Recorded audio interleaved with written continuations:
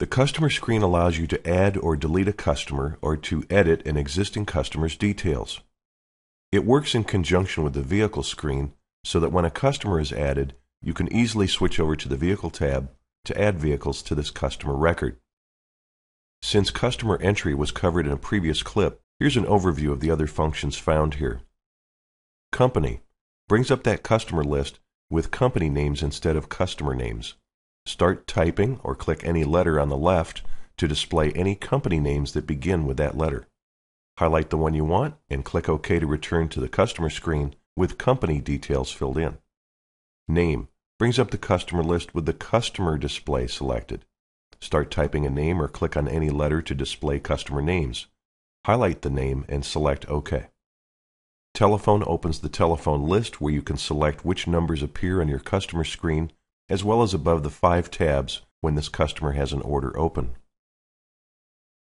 Email address is used to send an estimate or order to the customer. Remarks is space to add confidential details. The contents do not print anywhere. The birthday field provided for entry of the customer's birthday. Referred by. Select referral source for how they became a customer in the database. Watch the marketing referral clip for more information. Membership number field is designed for AAA account numbers or a similar means to identify the customer.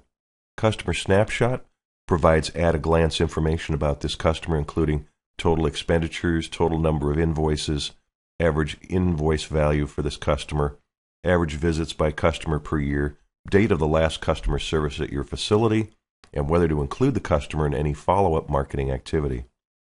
Payment status provides visibility to customer record in the database, dollar amount owed on posted invoices, if they had some form of overpayment by deposit or credit, year to date sales, indication if the customer is approved to charge, indication if the customer is current or past due, and if customer is exempt from late fee assessment.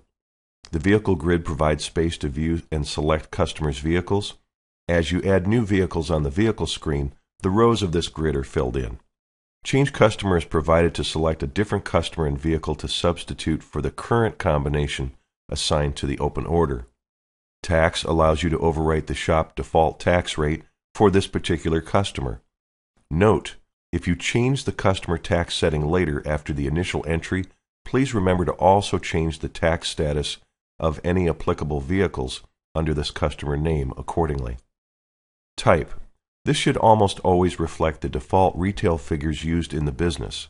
If in the course of adding a new customer, you know all future work should use different pricing, make those changes here and now so that the program will automatically apply them to all future work.